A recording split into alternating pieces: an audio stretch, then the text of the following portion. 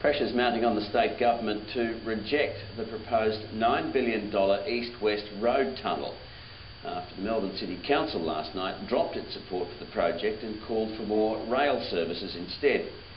Anti-tunnel campaigners say they've won a battle but not the war. The main voices behind the vote against the tunnel are hailing the vote as a major milestone in their fight.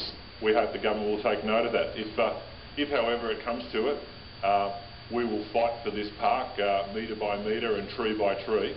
Melbourne City councillors last night endorsed a report that advises against the 18 kilometre tunnel, part of a transport strategy proposed by Sir Rod Eddington linking the Eastern Freeway to the western suburbs.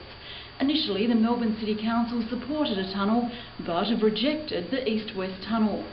Among the objections is using JJ Holland Park and Royal Park for construction. Instead, it's calling for more public transport options. It was a very strong message from community and uh, we've come into line with what community wants. As well as the growing public pressure, the Lord Mayor John So took into account rising petrol prices, climate change and concerns over congestion. Up until this point in time he's been a supporter, uh, but the public needs to keep his eye, their eye on him. While Council has opposed the east-west tunnel, it's thrown its full support behind another of Eddington's proposals as a way of easing congestion, the north-south rail link.